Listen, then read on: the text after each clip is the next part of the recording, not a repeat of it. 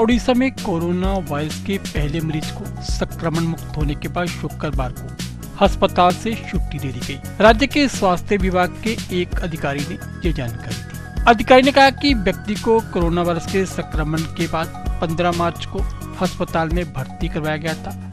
24 घंटे में दो बार उसकी जाँच की गई। जाँच नेगेटिव आई। आपको बता दें, राज्य के स्वास्थ्य एवं परिवार कल्याण विभाग ने ट्वीट कर इस रोगी का इलाज करने वाले अस्पताल के डॉक्टरों और स्वास्थ्य कर्मियों को बधाई दी है। विभाग ने लिखा है, भुवनेश्वर निवासी कोरोना वायरस का पहला रोगी ठीक हो गया है और कोविड 19 की उसकी जाँच नेगेटिव आई है।